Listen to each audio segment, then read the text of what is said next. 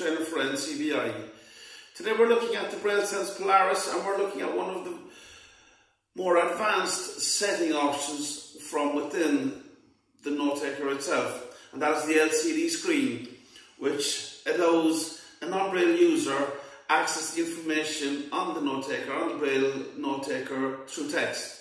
So the first important thing to be able to do as a parent of a, a child using Braille or as the teacher of a child, Braille user or an SNA or anyone that's working or interacting with a, with a child using Braille on the Braille Polaris or any of the Braille Sense suite of note takers will be to turn on the LCD display first and to look at the option to flip the actual display.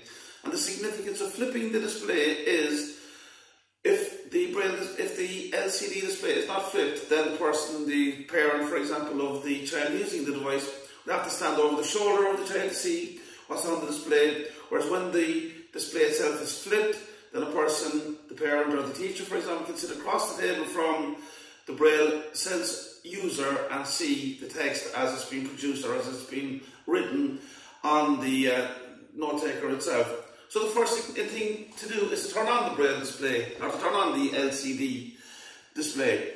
And to do that, we're going to bring up our main menu, so I'm just going to press F1. Now I'm just going to use a shortcut here to get to the global options setting. And the shortcut is chord O, so it's chord 135. So the spacebar records 135. Braille display.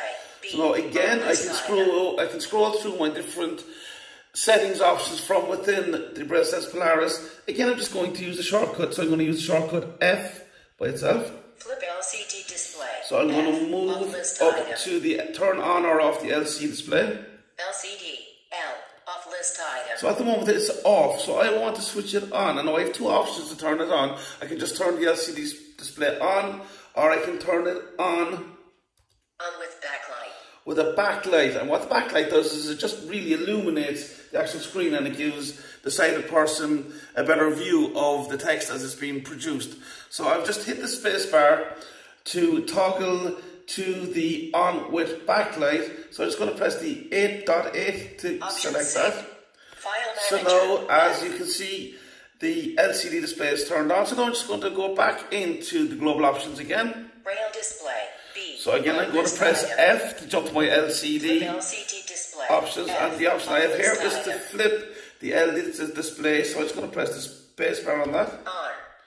So now I'm just going to press F3 for the tab button to confirm. Confirm button. Press enter on that. Options er are saved.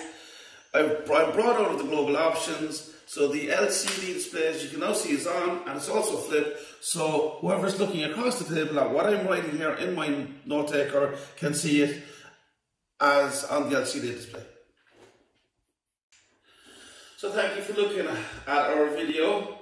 For more information, you can always go to our website at www.ncbi.ie. You can follow us on Twitter or Facebook. You can always check out our YouTube channels, or you can always just send us an email to labs at ncbi.ie and we guarantee we will follow up on your inquiry.